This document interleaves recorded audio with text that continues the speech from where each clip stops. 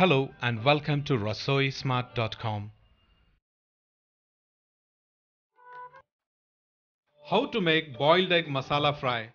To make boiled egg masala fry, you will need from the top clockwise garam masala powder, salt, red chili powder, coriander powder, turmeric powder, oil, tamarind juice, slitted green chilies, chopped onions, chopped tomatoes, chopped coriander leaves, mustard seeds, boiled eggs and ginger garlic paste.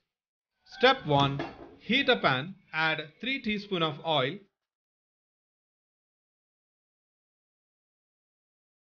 add half a teaspoon of mustard seeds, slitted green chilies and saute for a minute.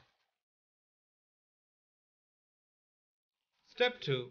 Add 1 teaspoon of ginger garlic paste, 2 small sized chopped onions and saute on a medium flame for about 5 minutes.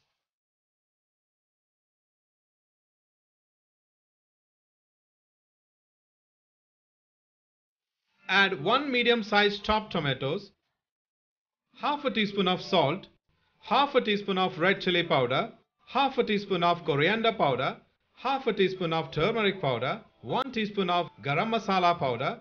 To know how to make garam masala powder, log on to www.rasoismart.com. Mix and saute for 3 minutes on medium flame.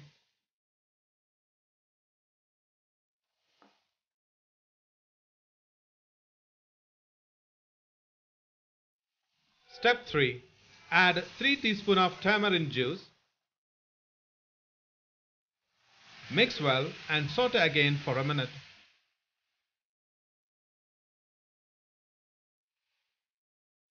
Step 4. Add diced boiled eggs. To know how to make boiled eggs, log on to www.rasoismart.com and some chopped coriander leaves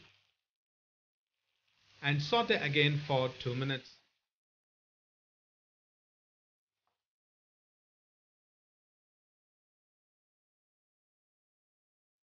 Delicious boiled egg masala fry is ready to serve.